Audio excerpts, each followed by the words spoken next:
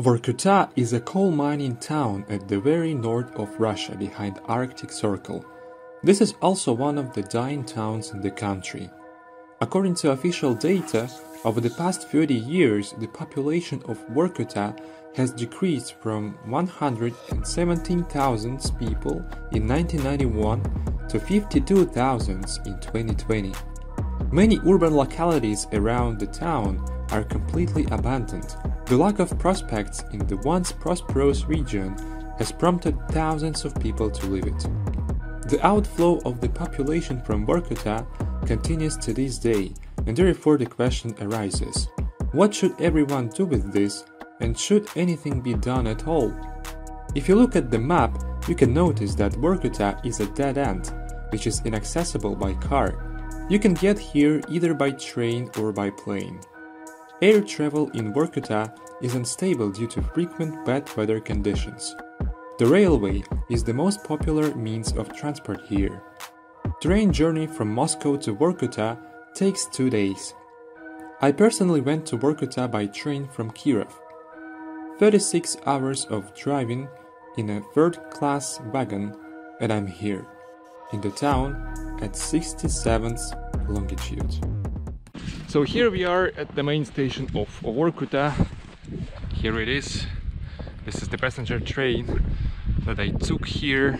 And this is the same locomotive that was the first locomotive that ever been here in 1944. The Vorkuta still exists. People live here. However, the city itself is dying. So during the period of Soviet Union, Vorkuta was the capital of coal industry in Komi Republic. There were 13 operating coal mines. Uh, this city was thriving probably. People from all over the Soviet Union wanted to work here because people who worked on coal mines uh, were paid greatly and additionally they got northern coefficient for their salary. They got twice more than they were able to get at Kuzbas, for example, another region where the coal uh, was and steel obtained. There are only four out of 13 mines that are active now in Vorkuta and therefore the city is now dying and this process caused a lot of abandonness in the city. So firstly, there is not that much work outside of uh, coal mines. Secondly, the temperatures here are quite low, so the winter here lasts for nine months probably. Here is very, very short Arctic summer. Like now, it's 15th of March. Even despite the fact that for the most territory of Russia, it's still technically winter, in Vorkuta, it's not even the end of winter. So it's gonna last here until the beginning of June, probably when the last snowdrifts will melt. And then the normal life will begin. This is Vorkuta Mechanic Factory. It carries out maintenance and repair of mining and industrial equipment for mining enterprises of the Pechora coal basin. Pretty decent bus stop with warm waiting hall, so you can get here and wait for your bus in warm. Here is even some sort of little cafeteria, so pretty convenient. This is Metallistov Square, local bus hub. From here you can take buses to urban settlements that are located around Vorkuta. Pretty newly renovated building. Here are probably some offices. And in front of it is abandoned residential three-story building. So this is just a little abandoned quarter of three buildings. Look at the amount of snow in Vorkuta. That's craziness. Man, let's go inside.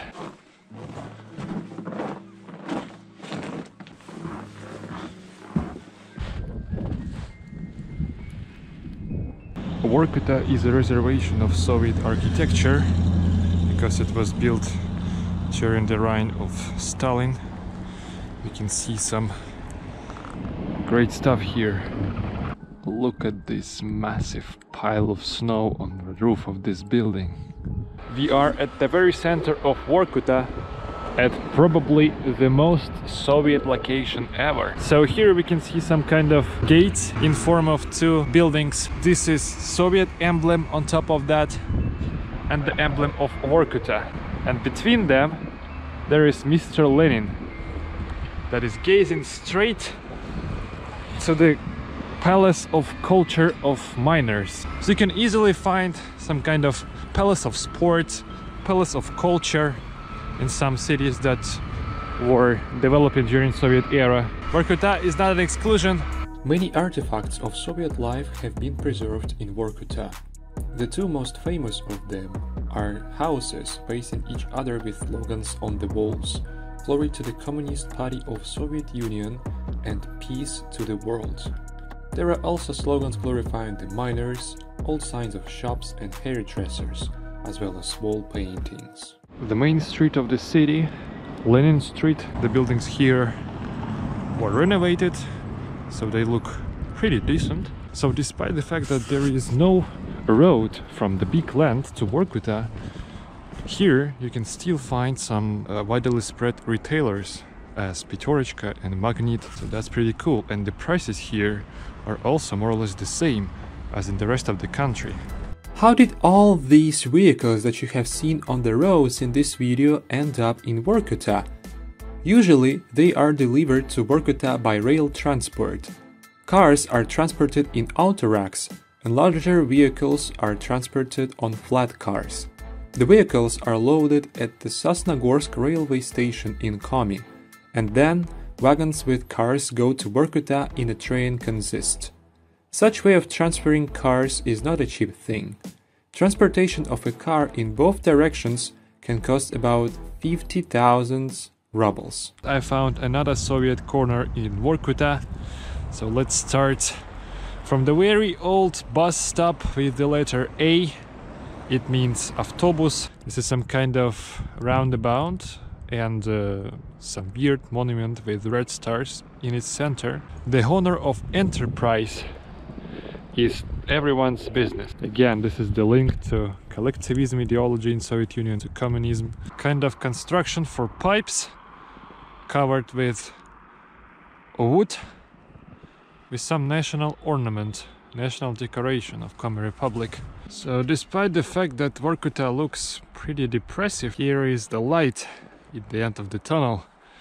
Newly built sport complex Arctica. Here is should be a swimming pool and probably something else. With a massive 9 stories residential building and incredible saying on top of that. Покорителям Заполярья слава or the glory to the conqueror of Arctic territories. Yes, the house appeared to be abandoned. A pretty interesting house because it has round corner and such corners were made specifically to protect the backyard from the wind that goes from here, from the river and from tundra. The monument to the victims of political repressions. Of course, to those that happened during Stalin's reign. The embankment of Vorkuta River and abandoned district called Rudnik. Probably miners lived there because Rudnik can be translated as mine. In July 1932, the first coal mine was opened on the right bank of the Vorkuta River.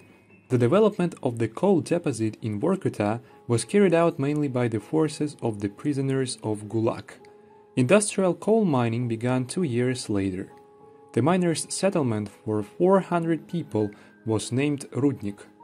Although the history of Vorkuta begins from Rudnik, the city itself began to develop separately on the opposite bank of the river. There was no direct road to Rudnik. To get here by car, you had to make a detour of several kilometers.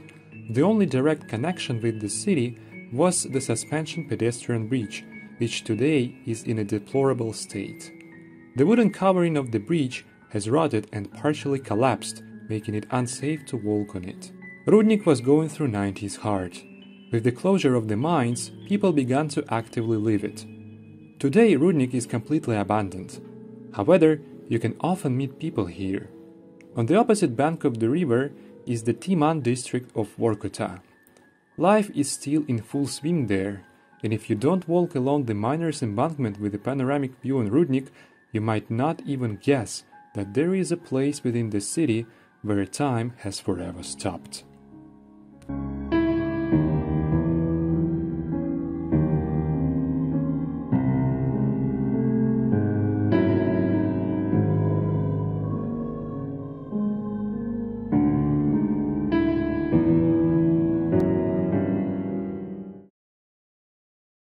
Snowdrops of Vorkuta. Cars that are abandoned and covered with snow drifts. There is actually plenty of them. The following day I went to the abandoned urban locality of Tsementnozavodsky in 20 kilometers from Vorkuta. According to Wikipedia, the population of the locality was zero people in 2021.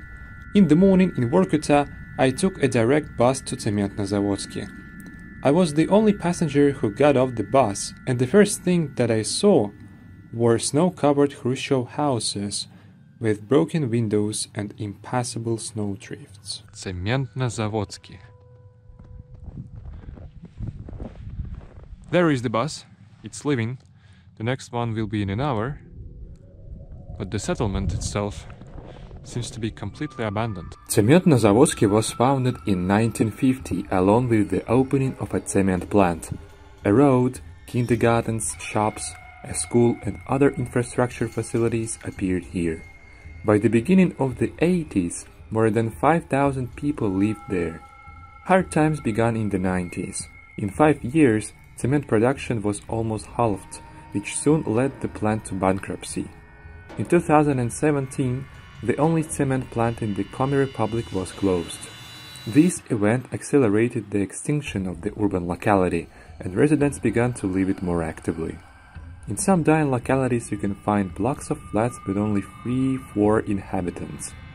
In such case the municipality has to heat either whole block or entrance hall with staircase, which is completely unprofitable.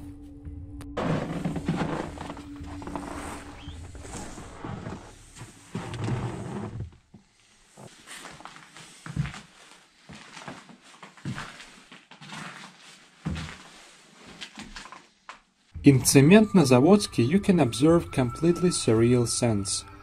Due to the fact that the settlement has not been completely disconnected from communications and the existing infrastructure is not properly looked after, the pipes in the basements of blocks burst and no one cares about it. In the entrances of blocks, where due to the spill of hot water, warm air from the basements comes out, Amazing snow corridors are formed on the staircases with huge icicles.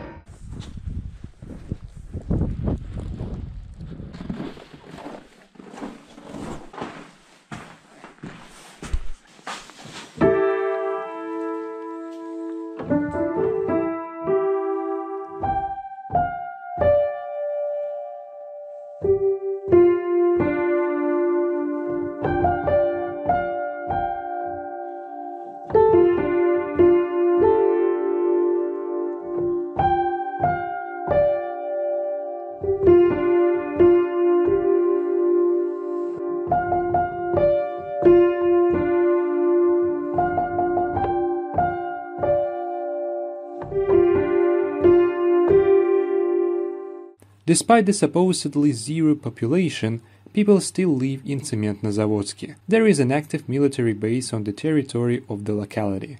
Life is still goes on there. In the nearest future, Tsementnozavodsky will most likely be liquidated.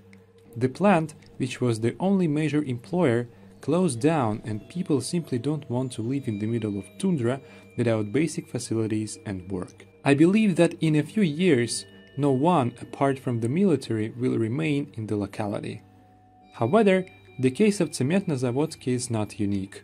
This is a typical example of a monotown doomed to extinction in case of the closure of its only enterprise. The situation is better in the urban locality of Komsomolsky. There is an operating coal mine next to it, the deepest mine in Russia. So here we are in Komsomolsky. Most of the residential buildings here are abandoned as well as the buildings of infrastructure. So here used to be the theater, the cinema or something like that. In the Soviet years, the population of the locality reached 18,000 people. Now, according to official data, about 600 residents live here, but according to my personal feelings, here is roughly more than 200 people. On the background of such amount of abandoned buildings, an active mine looks surrealistic. Talking about the infrastructure facilities in Komsomolsky, there is a post office and a grocery store. A bank branch operated here 10 years ago, but it was closed due to unprofitability. Komsomolsky also used to have kindergartens, a school, a hospital, and a maternity hospital. None of this has remained. А вот смотрите, допустим, вот эта пятиэтажка. Тут я смотрю, часть подъездов такие А уже заснеженные. здесь все выселили. Вот которые в центре, там Да. еще живут. Там три или четыре квартиры заняты. То есть, получается, тут отопления нет, там как бы Да, есть, и да, поэтому да, да, такая да. штука. А что тут вообще из инфраструктуры есть? Ну, магазины я знаю там точно. Магазин, почта.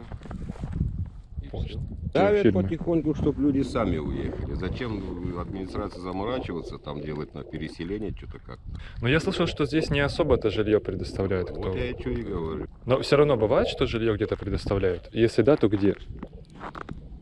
Только если по слухам конкретно еще никого не знаю. Ну, работают здесь в основном на шахте. На той, да? Или не Ну, обязательно? Градообразующие шахты же, она на шахте. А так-то люди здесь и на ЦОФе, и в детском садике, и где только не работают. Now let's get inside the house number 24 of Zapolarny Quarter.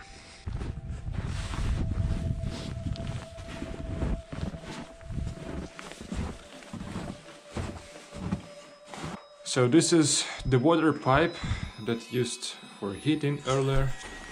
Let's get into random apartment.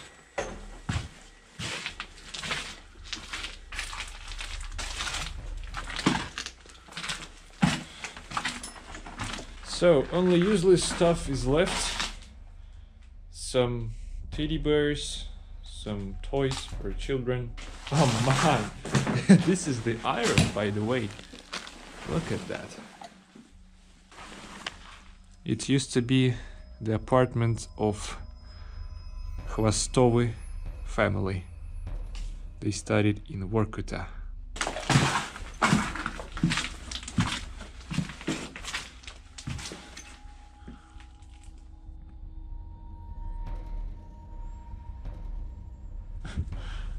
This is what happens when you forget to close the window.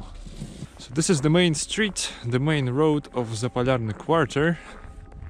This semi-abandoned building that I've just visited. Here is this red stars on the pillars along the street back to USSR. There are even no trails to some abandoned buildings because they are completely empty. There is just nothing to bring. Look at this interesting triangle construction. Probably abandoned bus stop. It's supposed to protect the passengers from the wind and snow. And here you can see the consequences of the absence of cleaning. Some kind of old schedule, but I don't think that these buses are still operate here. So I expected this blue building to be some kind of abandoned hospital or school, but it appeared that it was the administration of Komsomolska mine. You can even observe the abandoned settlement of Norway. So the majority of the population of the settlement lives here. Ex bank office. The only working ATB can be found now in the only working grocery store. So this is the thing that I was interested in the most in Komsomolsky. Such massive icicles. Now we are walking to Vorgashore settlement. The next point of Vorkuta Circle I'm going to explore. We are walking along the main road that creates the circle around Vorkuta and connects all the settlements around it. While walking to Vorgashore, we are going via the remains of Straitelny settlement. Now it is presented as the ruins of some two and three stories buildings Vorgashore urban settlement. It is named after the Vorgashore stream, which originates near the settlement. The root Vorga means a deer trail, which gives the translation of the name Deer Trail Brook. So the settlement of Vorgashore was founded in 1964 with the establishment of new coal mine and uh, that settlement was the biggest one in the entire Vorkuta ring. As soon as 19th happened, the USSR broke up. 65% uh, of the population of the settlement just gone and only 9,000 residents remain here. But this is still the biggest settlement in the entire Vorkuta ring because here is an active Vorgashorska mine uh, this is the biggest mine in the entire ring, if I'm not mistaken. And plus, this is the biggest coal mine in the entire Europe. And uh, again, the mine itself is pretty developed and modernized. So here is the job. Therefore, people still live here. There are two schools in Vorgashore. So basically, because there is no division into primary, secondary, and high school in Russia, so students can study for 11 years in just one school without changing it. Interesting how the life here coexists with death. The warm versus cold. I don't know if this complex is abandoned or not, but this is the sport hall Vorgashorets that can be translated as the resident of Vargasho, let's say, and the monument to coal. So these like construction is a cube of coal. Here is an inhabited, completely inhabited five-story building. Here is no life, just 20 meters away from it. So this backyard haven't been cleaned up during the winter and therefore we can observe just the virgin snow cover. Look at that. Cultural educational center stuff like that. It's difficult to translate this russian reality. And this is one of the main streets the street of kataev. Again inhabited houses are mixed with uninhabited. The outskirts of Vorgashore are also abandoned. I don't see any sense to explore them. They are more or less the same as the rest of the settlement. And lenin. Mr lenin well, it's time to summarize. It is clear from the history of Vorkuta that people lived happily here until the Soviet Union collapsed. Steel mills began to close throughout the country. As a result, there was no need to obtain Vorkuta coal in the same volumes. The mines began to gradually close. Today, the main enterprise of the town, Vorkuta Ugol, is owned by Severstal and sends coal there to Cherepovets steel mill. Despite the large reserves, today here is no need for the previous volumes of coal production, so it is unknown how long the Vorkuta mines will exist. Vorkuta is mesmerizing. It impresses not only with its buildings and architecture, but also with its people. Despite the harsh conditions of the Arctic, kind people live here. I have never been to a dog shelter before, but in Vorkuta I was given such an opportunity. Local woman showed me the shelter, which now houses over a hundred dogs. This unofficial dog shelter exists in Spartan conditions. There is no electricity. To be more precisely, it is, but it is supplied by a diesel generator. Local firefighters bring water to the dogs, since there is no borehole. The shelter almost entirely exists on donations.